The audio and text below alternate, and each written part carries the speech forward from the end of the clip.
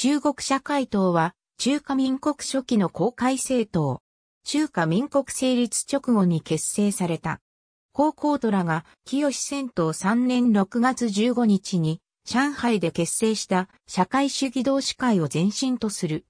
中華民国成立とともに公開政党として改祖され、名も中国社会党と改めた。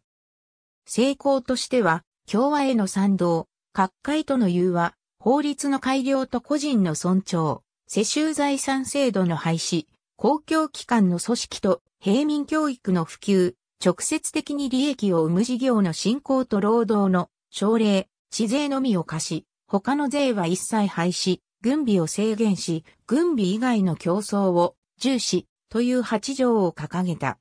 成立して間もなく、フランス留学から帰国した長次が加入し、高校、トララは長を指導者として擁立した。なお、孫文についても、当該領衆とみなしていた。校の階層によれば、一時は400余りの支部と50万人の党員を抱えたとされる。しかし、1913年の第2回連合大会において、早くも、校の指導に反発する勢力が出現する。反校派は、中国社会党を離脱し、スナーカを指導者とする純粋社会党を組織した。結局、同年中に中国社会党と純粋社会党は遠征外により解散させられた。ありがとうございます。